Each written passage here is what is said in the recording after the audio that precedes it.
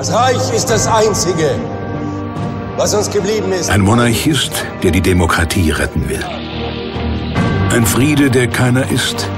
Aber der Waffenstillstand ist nicht voraussetzungslos abgeschlossen worden. Die erste deutsche Republik steht vor dem Bankrott und am Rande des Bürgerkriegs. Er muss sich behaupten gegen die Feinde der Demokratie. Vor allem gegen einen, Adolf Hitler, der Reichskanzler Gustav Stresemann.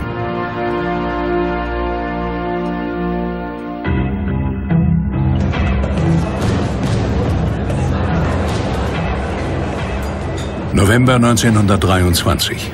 Der Führer der Nationalsozialisten will die Regierung in Berlin stürzen. Die nationale Revolution ist soeben ausgebrochen. Noch in der Nacht ruft Reichskanzler Stresemann eine Krisensitzung ein. Ja. Was ist mit der Polizei? Angeblich übergelaufen, aber noch nicht bestätigt. Der Präsident ist da. Die Regierung in Berlin ist abgesetzt.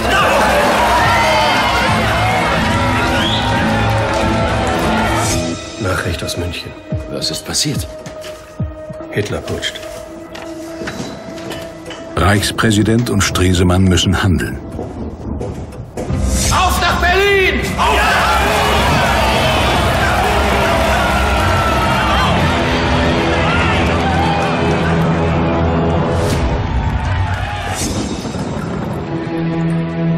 In der Nacht zum 9. November 1923 steht die Zukunft der ersten deutschen Republik auf dem Spiel. Und ausgerechnet er muss sie retten. Gustav Stresemann.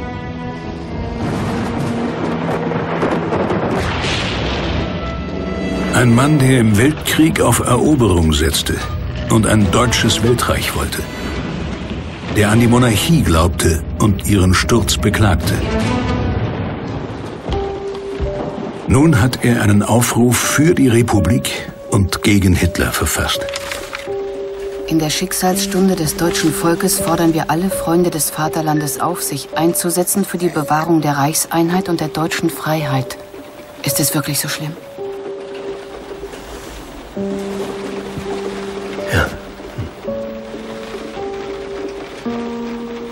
Wir wissen nicht, was der nächste Tag bringt. Aber ich werde nicht zurückweichen. Er weiß, dass Hitler ihn absetzen will. Seine Frau bangt um sein Leben. Seit 20 Jahren sind Käthe und Gustav Stresemann verheiratet. Und schon einmal stand in dieser Zeit seine wechselvolle Karriere vor dem Aus. Dabei begann alles mit einem Traumstart. Mit 28 Jahren war Stresemann jüngster Abgeordneter im Reichstag. Wie der Kaiser träumte er von einem deutschen Weltreich.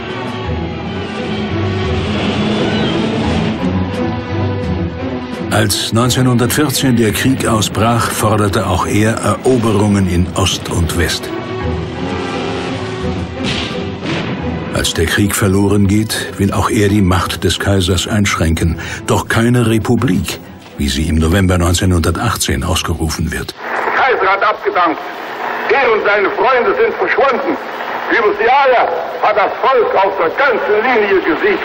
Stresemann gerät ins Abseits. Mit dem Zusammenbruch des Kaiserreichs brach für Stresemann eine ganze Welt, ein ganzes Weltbild zusammen. Persönlich bedeutete für ihn das Ende des Krieges zunächst einmal einen Karriereknick. Februar 1919. In Weimar, wo Goethe und Schiller wirkten, tagt die frei gewählte Deutsche Nationalversammlung. Sie soll der jungen Demokratie eine Verfassung geben. Gustav Stresemann ist Vorsitzender der neu gegründeten Deutschen Volkspartei. Die fordert eine parlamentarische Monarchie. Doch Sozialdemokraten wie Friedrich Ebert haben jetzt das Sagen. Das Wesen unserer Verfassung soll vor allem Freiheit sein. Freiheit für alle Volksgenossen. Aber jede Freiheit, an der mehrere teilnehmen, muss ihre Satzung haben. In der Nationalversammlung haben die Befürworter der Republik eine Zweidrittelmehrheit. SPD, linksliberale und katholische Zentrumspartei. Gustav Stresemann und seine Deutsche Volkspartei trauern den alten Zeiten hinterher. Deshalb ist er für viele erst einmal ein Mann von gestern. Mit den Fürsten und Königen von Gottes Gnaden ist es für alle Zeiten vorbei. Die Zukunft Zum ersten Mal dürfen auch Frauen wählen und gewählt werden. Aber jetzt kommen die Frauen. Dagegen waren die Fürsten und Könige ja harmlos, nicht wahr?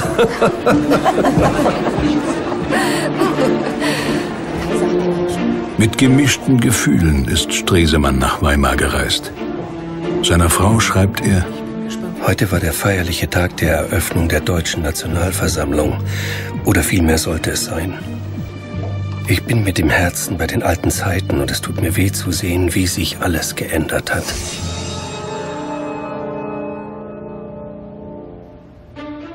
Gefühle, die die meisten Abgeordneten nicht teilen. In den nächsten sechs Monaten schaffen sie die rechtliche Grundlage für den neuen Staat. Die Verfassung der Weimarer Republik. Die Regierung ist jetzt nicht mehr dem Kaiser, sondern dem Parlament verantwortlich. Die Staatsgewalt geht vom Volke aus. Zum ersten Mal in der deutschen Geschichte. Eine Verfassung, die an die gescheiterte Revolution von 1848 anknüpft.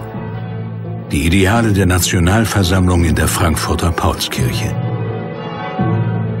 Schwarz-Rot-Gold steht für die freiheitliche Tradition in Deutschland. Es sind nun auch die Farben der Weimarer Republik. Doch auf dem Neubeginn lastet ein Schatten. In Versailles treffen sich im Frühjahr 1919 die Siegermächte des Ersten Weltkriegs. Die Deutschen hoffen auf einen milden Frieden, nachdem der Kaiser gestürzt ist. Eine Illusion. Anders als Amerikaner und Briten will Frankreich Deutschland entscheidend schwächen, um künftig vor dem Nachbarn sicher zu sein. Der Spiegelsaal des Versailler Schlosses. Hier wurde nach dem deutschen Sieg über Frankreich 1871 das Kaiserreich ausgerufen. Und durch Bismarck die deutsche Einheit geschaffen. Ein halbes Jahrhundert später folgt am gleichen Ort die Revanche. Jetzt sind die Deutschen die Besiegten. Die Vertreter der Weimarer Republik haben keine Wahl. Sie müssen eine ausschließliche Kriegsschuld des Reiches anerkennen und harte Friedensbedingungen akzeptieren. Die neue Republik muss die Erblast der Kaiserzeit tragen. Stresemann bezieht auch hier Opposition. Wir sind vielleicht verloren, wenn wir den Frieden nicht unterzeichnen, aber wir sind sicher verloren, wenn wir ihn unterzeichnen. Er will die Folgen des Krieges, den er begrüßte, so nicht tragen. Gemäß Versailler Vertrag besetzen französische, belgische und britische Truppen das deutsche Rheinland als Sicherheitspfand. Deutschland muss Kriegsentschädigungen zahlen und verliert ein Siebtel seines Staatsgebietes. Im Westen gehen Elsass und Lothringen an Frankreich, im Osten Westpreußen, Posen und ein Teil Oberschlesiens an das neu gegründete Polen.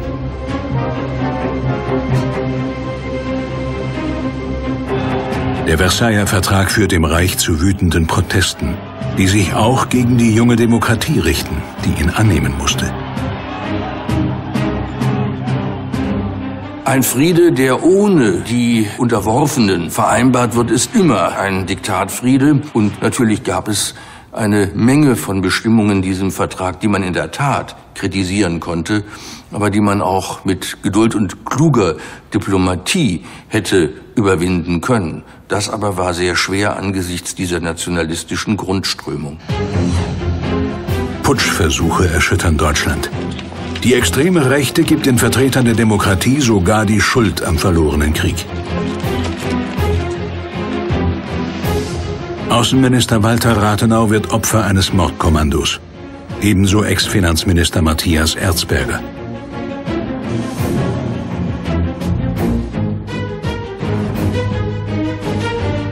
Angeblich seien Demokraten und Sozialisten der siegreichen Truppe in den Rücken gefallen.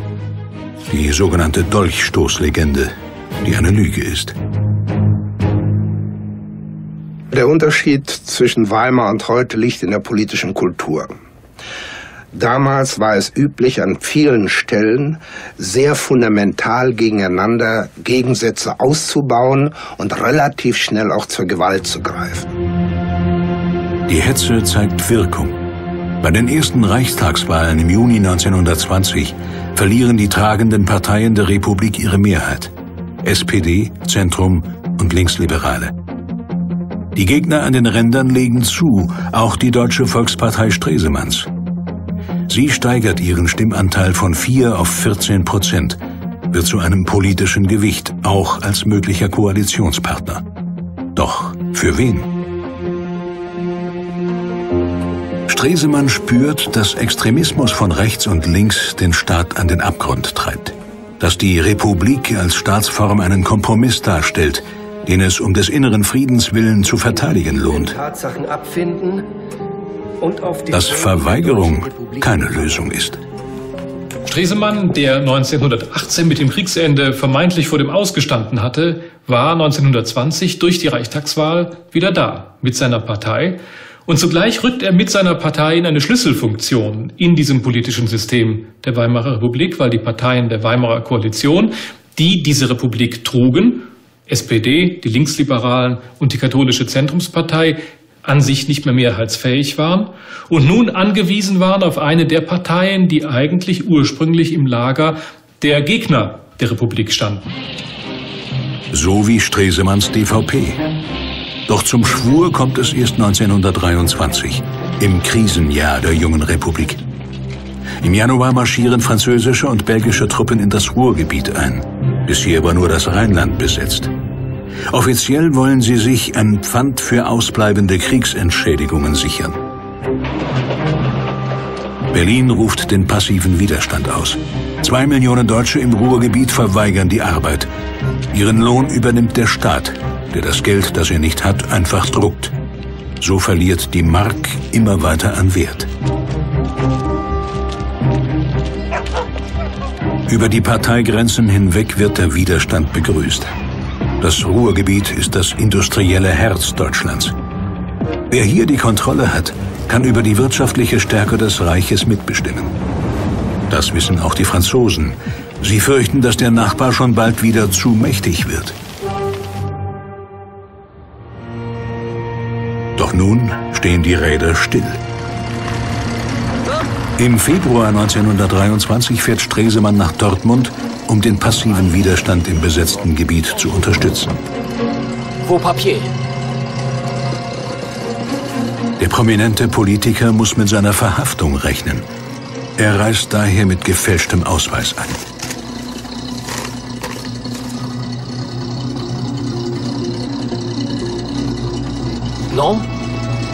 Friedrich Ehrenkamp. Destination? Ins Büro. Ich arbeite für eine Versicherung.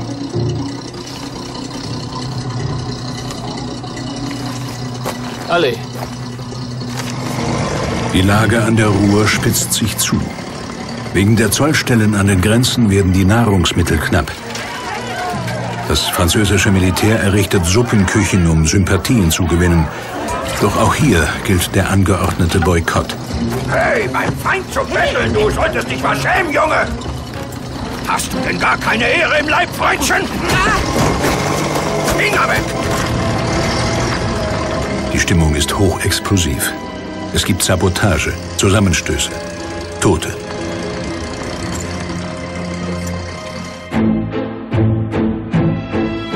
Auch in der Hauptstadt ist die Lage gespannt. Im August 23 tritt die Berliner Regierung wegen der Ruhrkrise zurück. Bitte sehr. Friedrich Ebert, der als Reichspräsident einen neuen Regierungschef zu ernennen hat, steht vor einer schwierigen Entscheidung. Bitte sehr. Nur eine große Koalition von der DVP bis zur SPD scheint jetzt erfolgversprechend. Dafür braucht er Stresemann. Ebert zögert. Tja, Sie waren nicht meine erste Wahl. Sie verzeihen mir das offene Wort. Ich habe mich nicht nach diesem Amt gedrängt. Wie die Dinge stehen, ist es eigentlich politischer Selbstmord. Am 13. August 1923 ernennt Ebert Stresemann zum Kanzler. Als Stresemann Reichskanzler wurde, war das ein politisches Himmelfahrtskommando. Das Deutsche Reich befand sich in seiner schwersten politischen Krise seit dem Ende des Krieges. Seit sieben Monaten tobte der Ruhrkampf. Das Wirtschaftsleben an Rhein und Ruhr stand still. Die Hyperinflation schoss in die Höhe und niemand wusste, was aus Deutschland überhaupt noch werden sollte. Wenn Stresemann davon sprach, dieses Amt zu übernehmen, sei politischer Selbstmord, so war das aber nicht nur in einem metaphorischen politischen Sinne zu verstehen. Wir dürfen nicht vergessen, dass zu dieser Zeit Rathenau, Erzberger schon einige Politiker ermordet worden waren. Unaufhörlich wird Geld gedruckt, um den Ruhrkampf zu finanzieren. Der Wert der Währung fällt ins Bodenlose. Mitte Oktober 23 kostet ein Laib Roggenbrot 267 Millionen Mark. Eine ganze Generation verliert ihre Ersparnisse und die Hoffnung.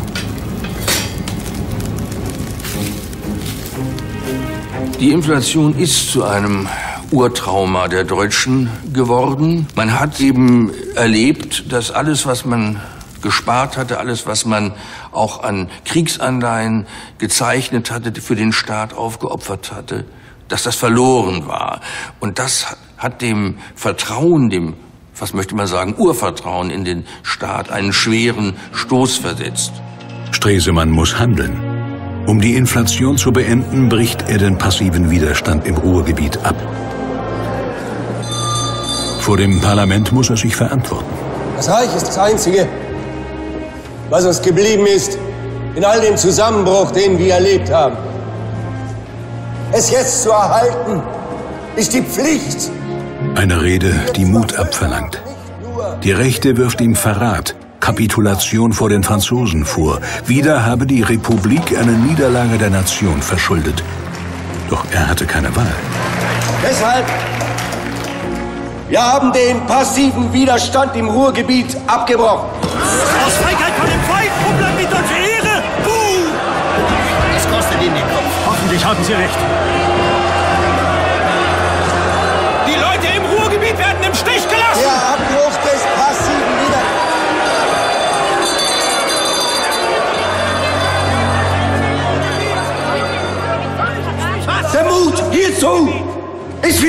Nationaler als all die Phrasen, mit denen dagegen angekämpft wird. Ich bin mir bewusst, dass ich damit meine politische Stellung, ja vielleicht sogar mein Leben aufs Spiel setze. Aber was fehlt dem deutschen Volke?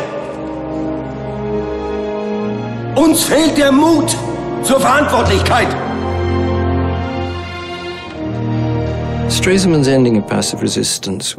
Der Abbruch des passiven Widerstandes war vielleicht die Sternstunde Stresemanns. Er zeigte sich als Staatsmann, der aus Überzeugung eine höchst unpopuläre Entscheidung traf. Er tat es, obwohl er wusste, dass seine Gegner ihn beschuldigen würden, ein zweites Versailles zu unterschreiben. Im Reich kommt es zu Aufständen. In Koblenz wollen Separatisten eine rheinische Republik errichten. In Sachsen und Thüringen verbünden sich Sozialdemokraten und Kommunisten. Es droht eine rote Revolution. Stresemann lässt die Reichswehr eingreifen. Die größte Gefahr aber droht von rechts, im Süden der Republik. In München macht die bayerische Regierung gegen Berlin mobil, unterstellt sich die Reichswehrtruppen im Land.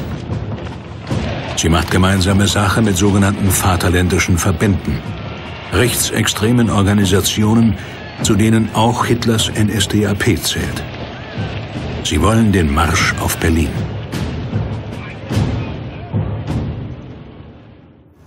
Das weiß auch der Kanzler. Gegen die Kommunisten in Sachsen und Thüringen konnte er die Reichswehr einsetzen. Doch würde sie auch einen Putsch von rechts niederschlagen? Herr Reichskanzler, General von Seegt für Sie. Reinkommen. Herr General? General von Seeg, schön Sie zu sehen. Bitte nehmen Sie Platz. Danke. General Hans von Seeckt ist oberster Militär der Republik. Ist die Reichswehr bereit, die Republik auch gegen Angriffe von rechts zu verteidigen?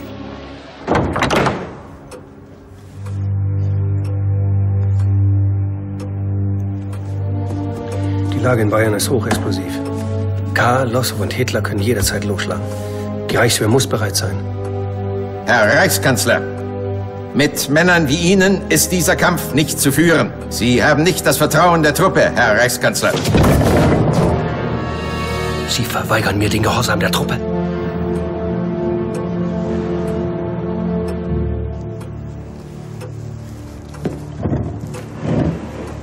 Belassen wir es dabei.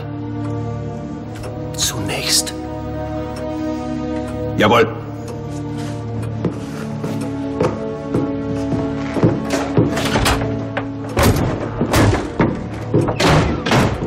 Ein ungehorsamer General. Warum entlässt Stresemann ihn nicht?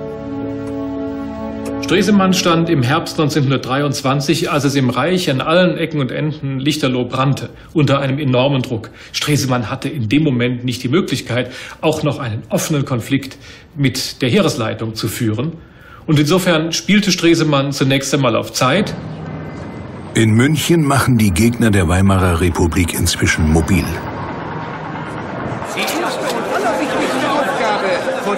Am 8. November 1923 lädt Generalstaatskommissar von K. zu einer Kundgebung in den Bürgerbräukeller. Diese in kürzester Zeit wiederzugewinnen, so scheidet es aus der Reihe der Großnationen. In einer Rede zur Lage der Nation macht er Stimmung gegen Berlin. Ohne heißen, weg mit dem Knebelvertrag. Doch einer will nicht mehr reden, sondern handeln. Hitler sieht die Chance loszuschlagen will die zögerliche Regierung und die Versammelten auf seine Seite zwingen. Gastgeber und Publikum sind überrascht.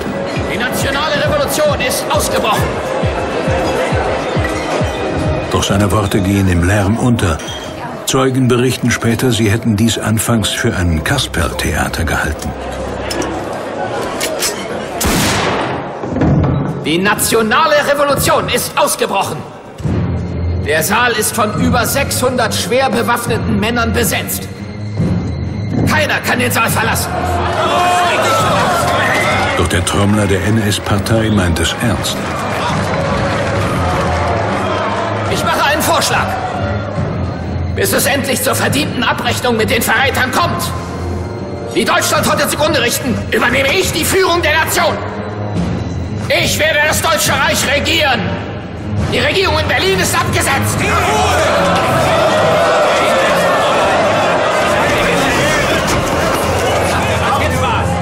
Kurz vor Mitternacht erreicht die Nachricht Berlin. Was ist passiert? Stresemann ruft sofort eine Krisensitzung ein. Mit dabei Reichspräsident Ebert. Beide wissen, im Notfall kann nur einer die Putschisten aufhalten. General? Welche Haltung wird die Reichswehr einnehmen? Wenn Hitler an der Spitze bayerischer Truppen auf Berlin marschiert. Die Reichswehr steht fest hinter mir.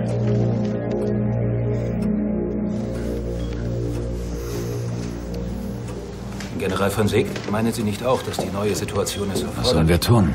Nein. Ohne Militär haben wir keine Chance. Noch ist völlig ungewiss, wer den Putsch wirklich trägt. In München zögern die Regierenden, sich Hitler anzuschließen. Im Saal herrscht Verwirrung. Ich glaube, es ist an der Zeit, Ludendorff in den Saal zu bitten. Doch Hitler verfügt noch über einen Trumpf. Im Saal erscheint General AD Ludendorff. Im Krieg war er Kopf der obersten Heeresleitung, der führende Militär und überaus populär. Ludendorff ist bereit, die Galionsfigur für den Aufstand zu spielen. Meine Herrschaften, in dieser historischen Stunde dürfen Sie sich dem Ruf der Nation nicht versagen. Auf nach Berlin! Auf nach Berlin!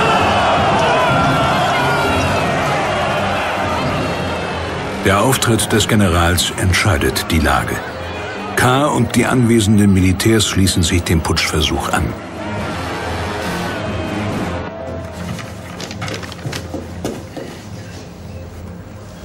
Die Putschisten haben eine Regierung ausgerufen.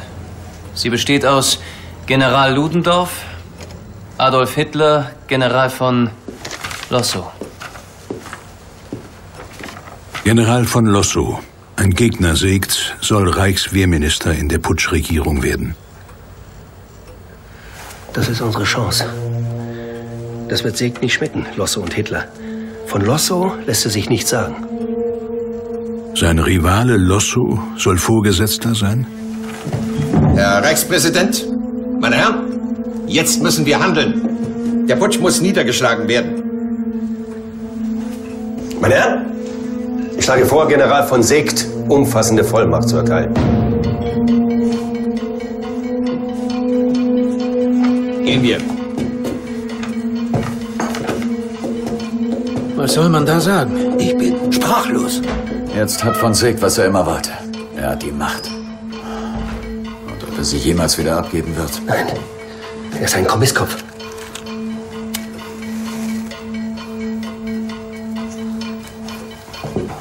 So einer wagt keinen Umsturz. Hoffen wir, dass Sie recht behalten.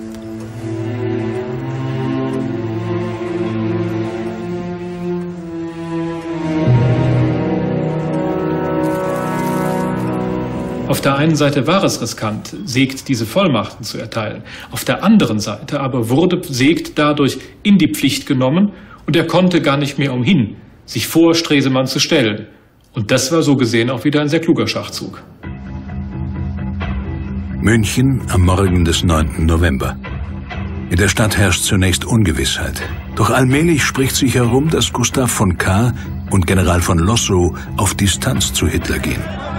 Sie seien überrumpelt worden. Hitler und Ludendorff geben nicht auf. Mit einem Marsch durch die Münchner Innenstadt wollen sie die Massen hinter sich bringen.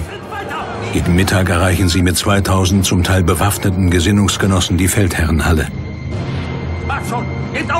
Hier versperrt Landespolizei den Weg. Sie hat den Befehl, den Weitermarsch der Putschisten mit allen Mitteln zu verhindern.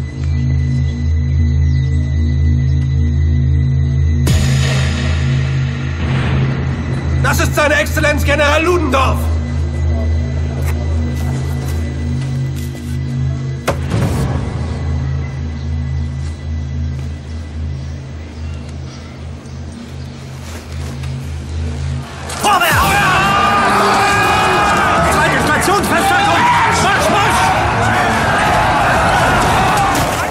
Welche Seite zuerst schießt, wird nie geklärt.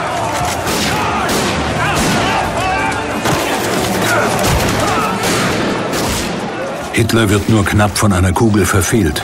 Sein Nebenmann stirbt. Insgesamt kommen vier Polizisten und 16 Putschisten ums Leben. Ludendorff bleibt unverletzt und wird noch vor Ort festgenommen.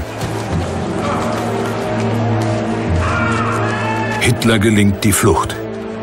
Doch wenige Tage später wird auch er verhaftet.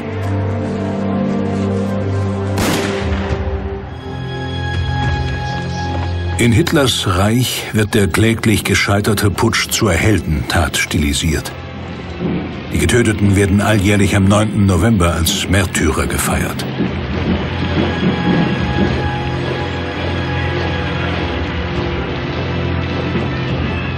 Dass der Putsch Hitlers Weg zur Macht kein Ende bereitet, dafür sorgt auch eine milde Justiz. Ludendorff wird freigesprochen, Hitler nach 13 Monaten aus der Haft entlassen. Nach den Ereignissen in München beruhigt sich die Lage im Reich. Schon eine Woche nach dem Hitlerputsch wagt Stresemann den nächsten Kraftakt. Seine Regierung führt die sogenannte Rentenmark ein. Die galoppierende Inflation wird durch einen harten Schnitt beendet. Für eine Billion Papiermark gibt es eine Rentenmark. Stresemann hat die Republik durch ihre schwerste Krise geführt. Doch im Reichstag gerät der Kanzler wieder unter Druck. Also ich sehe ziemlich schwarz. Die Sozialdemokraten brechen mit ihm, weil er die Reichswehr in das rote Sachsen und Thüringen einmarschieren ließ. Die Deutschnationalen wollen ihn stürzen, weil er den passiven Widerstand gegen Frankreich beendete. Stresemann stellt die Vertrauensfrage. Der Regierung Stresemann haben das Vertrauen ausgesprochen. 156 Abgeordnete. Für die Abwahl der Regierung 231 Abgeordnete. Nur 100 Tage war Stresemann Kanzler. Reichspräsident Ebert, der mit ihm die Krise meisterte, übt Kritik an seiner Partei, der SPD. Was euch veranlasst, den Kanzler zu stürzen, ist in sechs Wochen vergessen. Aber die Folgen eurer Dummheit werdet ihr noch zehn Jahre lang spüren. Stesemanns Bilanz war vielleicht das einzige Mal in der Weimarer Zeit eine heroische Erfolgsbilanz. Die Währung war stabilisiert durch den sehr grausamen, aber notwendigen Schnitt, äh, die Einführung der Rentenmark. Die Putsche waren überwunden. Das war schon nach Weimarer Maßstäben eine große Erfolgsbilanz. Und Undankbarkeit ist in der Politik die Regel, nicht die Ausnahme. Stresemann denkt erst einmal an Rückzug aus der Politik. Meine Frau sagt, Sie begrüßen meinen Sturz. Vom ärztlichen Standpunkt kam er jedenfalls zur rechten Zeit. Stresemann leidet unter der Basedorfschen Krankheit, eine Überfunktion der Schilddrüse, die das Herz schädigt und zum Schlaganfall führen kann. Sie müssen kürzer treten, Herr Stresemann, sonst kann ich bald nichts mehr für Sie tun. Sie müssen auf Ihren Mann Acht geben. Sie glauben doch nicht wirklich, dass mein Mann ein ruhigeres Leben aushalten würde. Warum denn nicht? Entschuldigung. Ein Herr Marx schickt Ihnen das hier. Scheint dringlich zu sein. Wilhelm Marx? Der Zentrumsmann?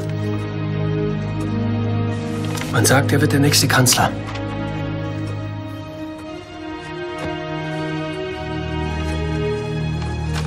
Sagen Sie ihm, ich bin in einer Stunde da. Marx ist ein guter Mann.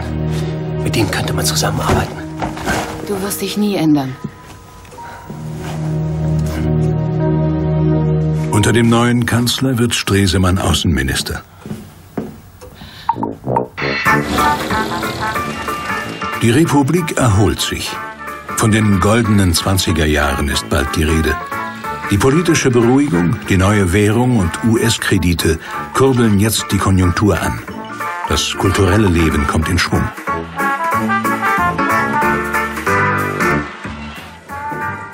Gustav.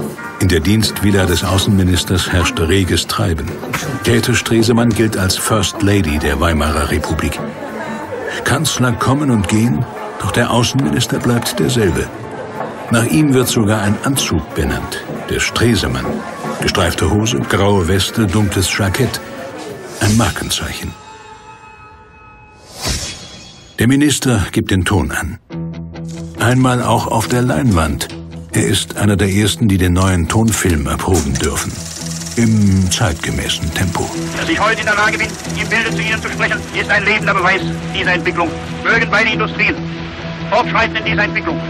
Möge es ihnen möglich sein, nicht nur in der Heimat, sondern auch draußen in der Welt, durch ihre Erzeugnisse ein Bild zu geben von deutscher Geistes- und Schaffenskraft und dafür zu sorgen, dass deutscher Geist und die Anerkennung deutscher Technik auf die Welt durchdringen.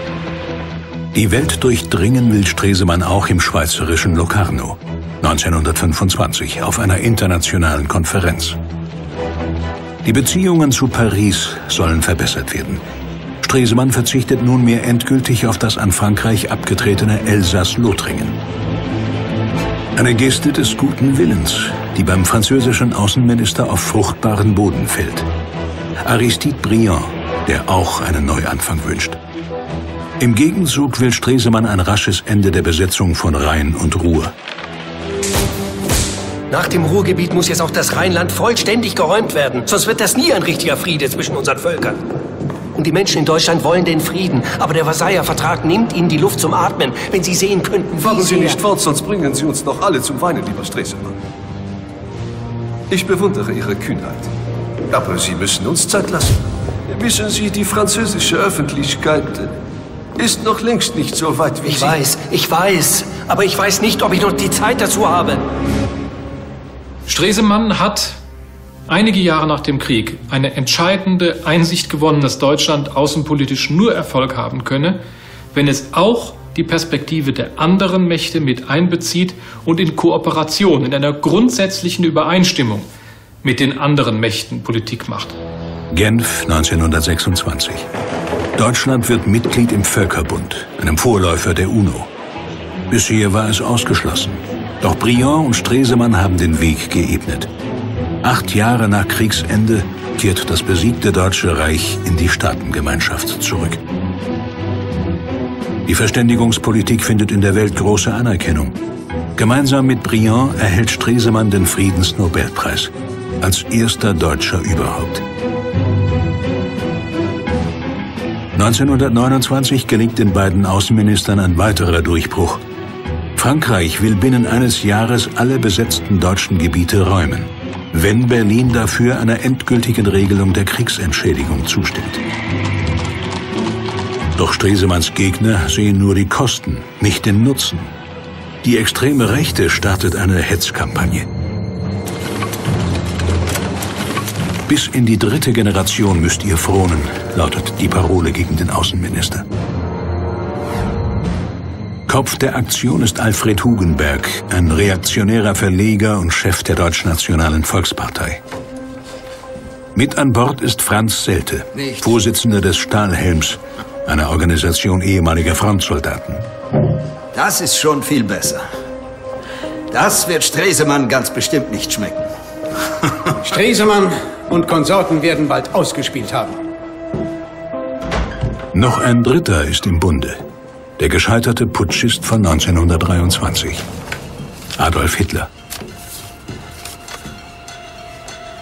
Wir werden das Volk auf sie hetzen.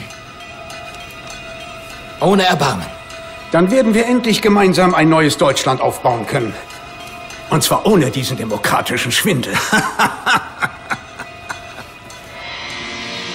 Nun hat er mächtige Förderer. Hitler hat die NSDAP neu organisiert und auf sich eingeschworen. Auf sogenannten Reichsparteitagen, wie in Nürnberg 1929, stellt er eine Macht zur Schau, die er noch nicht hat, aber unbedingt erringen will. Noch hat die Nazi-Partei nur wenige Abgeordnete im Parlament, doch das wird sich bald ändern. Stresemann ahnt die Gefahr.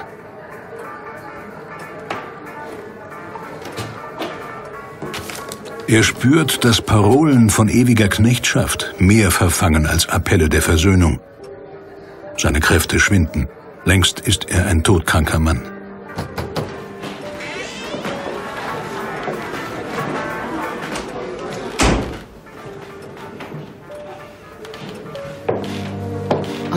Gäste warten. Hugenberg schreckt vor nichts zurück. Paktiert mit Hitler. Sie wollen dich und die Republik ruinieren. Du müsst jetzt in jede Schule, in jede Universität die jungen Menschen zurückhalten vor diesen Verführern. Aber mir fehlt die Kraft.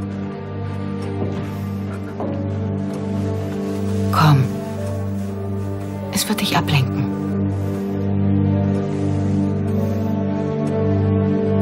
Kai. Gib mir noch eine Minute. Ein weiter Weg liegt hinter ihm.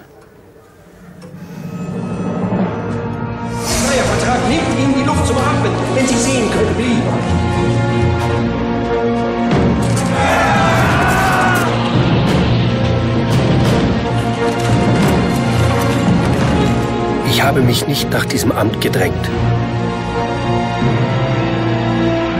Ich werde nicht zurückweichen. Was fehlt dem deutschen Volke? Uns fehlt der Mut zur Verantwortlichkeit.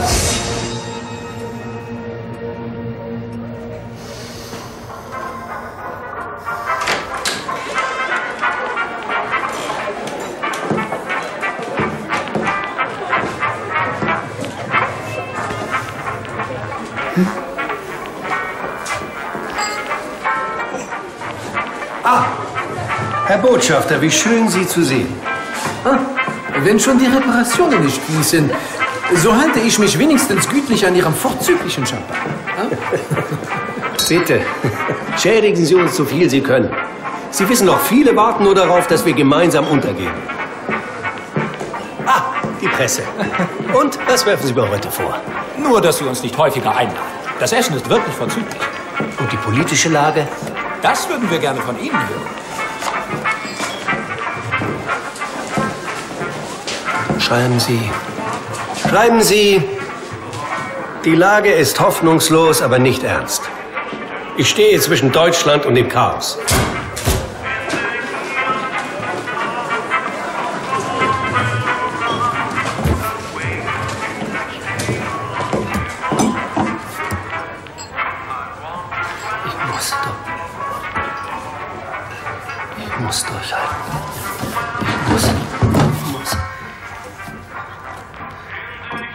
In den frühen Morgenstunden des 3. Oktober 1929 erleidet Gustav Stresemann einen Schlaganfall. Er stirbt im Alter von 51 Jahren.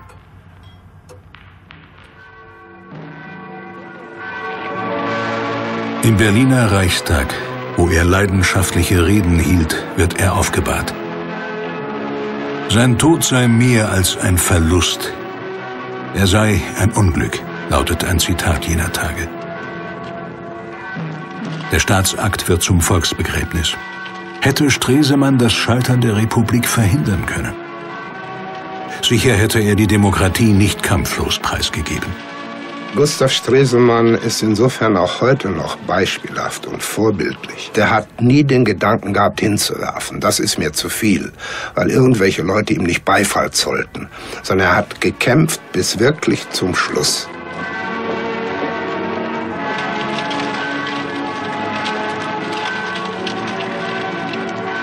Wenige Jahre nach seinem Tod triumphieren seine Feinde über die Republik. Als der Reichstag 1933 brennt, ist die Demokratie längst zerstört. Als am Ende des von Hitlerdeutschland entfesselten Krieges die Sieger die Trümmer erstürmen, ist dies Ende und Anfang.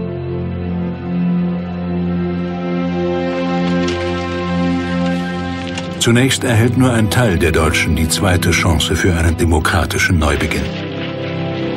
Erst mit dem Zusammenbruch der kommunistischen Diktaturen werden Ziele wahr, die Stresemann erhofft hat. Ein geeintes Deutschland in Freiheit und in Frieden mit seinen Nachbarn.